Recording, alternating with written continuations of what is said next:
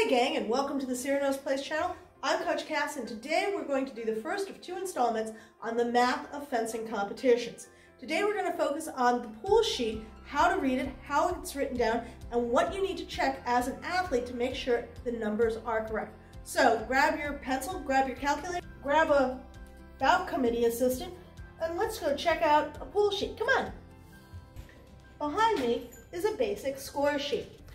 Once the bout committee figures out the pools, they'll print out the pool sheets and distribute them to the referees. You can see we put our names in here.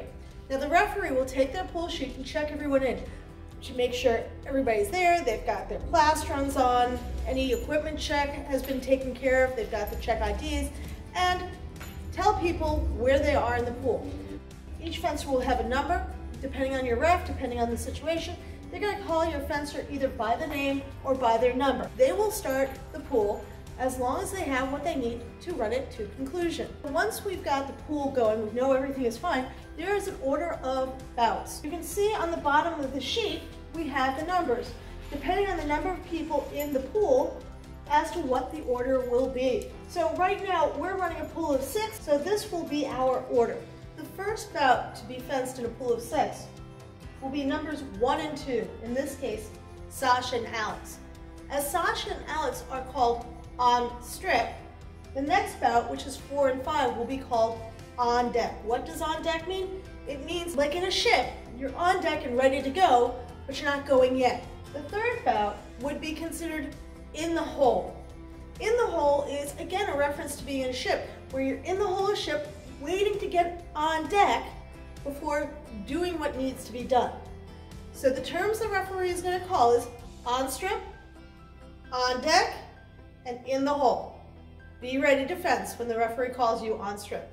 Once the bout is fenced, the referee needs to write in the score. So we look at the score sheet. When fencer number one fences number two, and fencer number two fences number one, the score will go right here. If Sasha wins over Alex 5-3, we can put a V meaning five touches, and a score of three.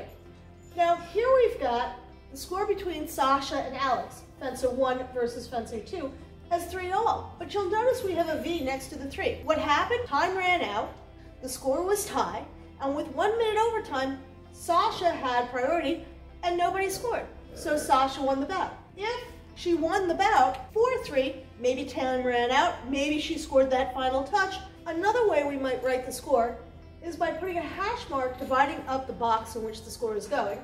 The score in which the fencer will make is on top, and V for victory, or D for defeat, will be written in. The key thing about writing in your score is to make sure, however it's written, it is clear to the bout committee what the score is. What you don't want to do is write in such a way that's confusing. You'll notice here that the score for both fencers are in both boxes. We can see with the V, they won 4-3, but that makes a very small amount of space very confusing. After the pool is complete, every athlete is responsible for signing next to their name on the pool sheet. What signing the score sheet says is they agree with how the scores are written on the score sheet. Each athlete should check it and make sure the referee hasn't by chance made a mistake, a human mistake, not an intentional mistake, and maybe inverts the scores. So whereas Mara beat Joey here, maybe the referee wrote it backwards.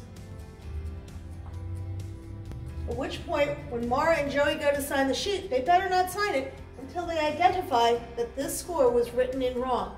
Because if they don't, it's going to stay as is, and Mara, who should have had that victory, would be seeded lower than she ought to based on her results.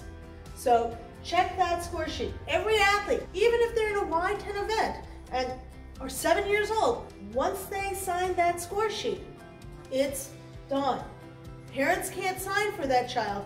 That child is responsible for checking their sheet and making sure we don't have a mistake like this one.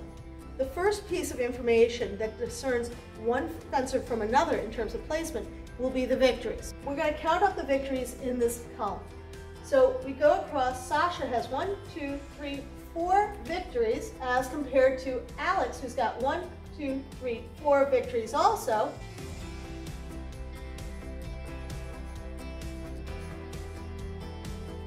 So as you can see, we have ties with our victories.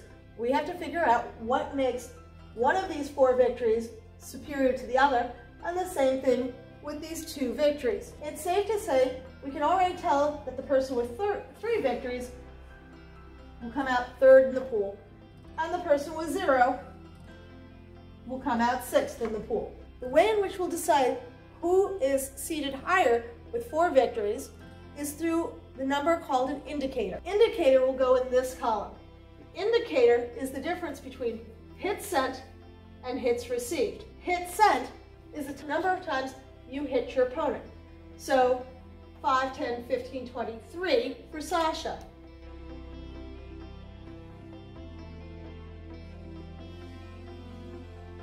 Now that we've counted up hits sent, we need to count up the hits received. Hits received is the number of times your opponent hit your fencer. Instead of hits sent, we're going for hits received, and that's going to be counting down.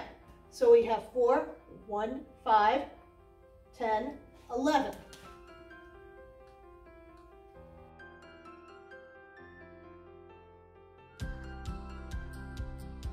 Now that we've added up the hits sent and the hits received, we can take the difference to find out the indicator. The hits sent minus the hits received equals a plus 12.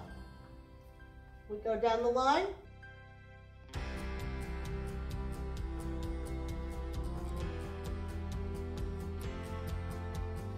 One way to check your math, make sure you've done your indicator correctly, is when you add up all the numbers on the indicator, it should add up to zero. Now that we've added up the indicator, we can decide between a tie on victories with Alex and Sasha, who seeds first. You'll notice we have a plus 12 versus plus 7. Plus 12 is higher. 3 is the next most victories. Now we have a tie between Louis and Mara. We have minus 4 versus minus 5.